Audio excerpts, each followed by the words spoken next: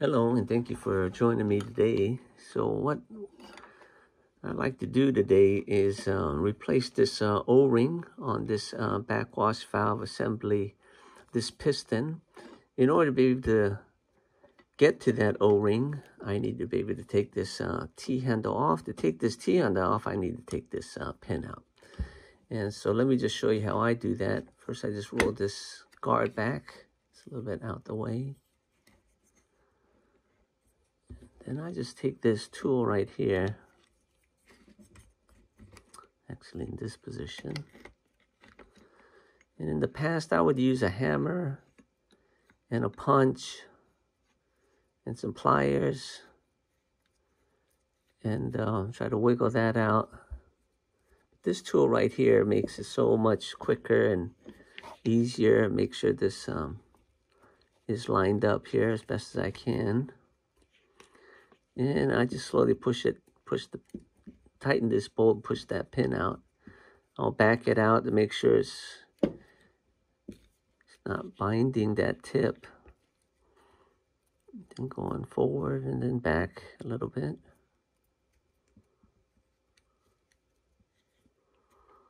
Let's see, get a better angle here.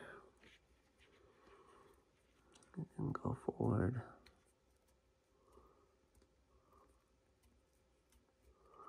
And back it a little bit.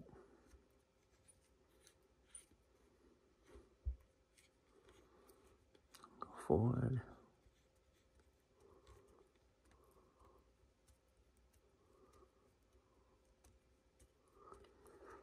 Until we get that pin to push all the way through.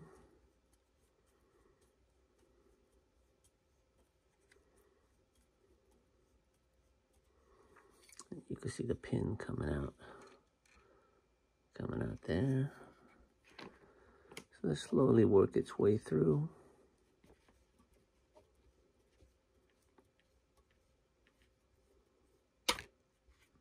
And there it goes.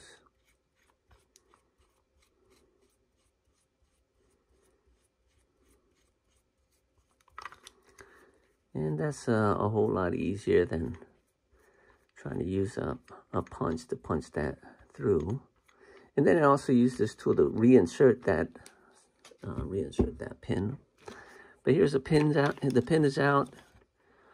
Take that T-handle off, take this guard off. And then I can get and replace this uh, O-ring.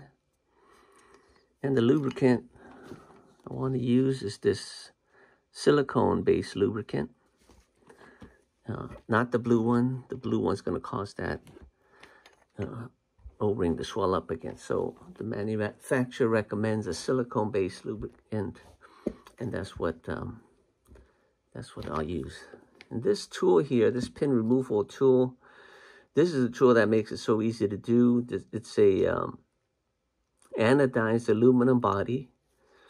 Uh, this uh, uh, shaft here is a carbon steel shaft with a black oxide finish and it has a stainless steel knurled uh, head to it. So the entire tool is um, chemical and rust uh, resistant. And if you'd like more information about our tool, um, please um, see the link below or check our website, newporttools.com. I hope this uh, video was helpful to you and thank you so much for watching.